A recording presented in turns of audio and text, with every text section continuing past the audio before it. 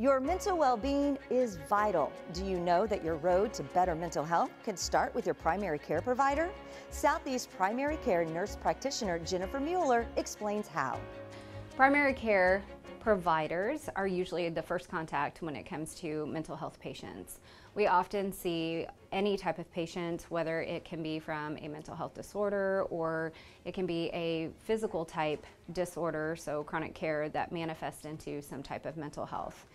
Any kind of doctor, any kind of psych nurse practitioner, or any nurse practitioner that holds a DEA license can actually treat all different types of mental health disorders. We are the first contact in making the diagnosis of are you depressed? Do you have anxiety?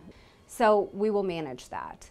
Um, but if there is something that is more, and we think that it is more in depth that needs a bigger diagnosis or more in depth diagnosis, we will send that to specialty, and that's where psychiatry does come into place. Mental health, I always tell my patients, you took a long time to get there. It took a long time to build. So I always tell people it's the same way to get better. It's not a sprint, it's a marathon. Give yourself grace, give yourself time. We're in this together, and we'll get the resources.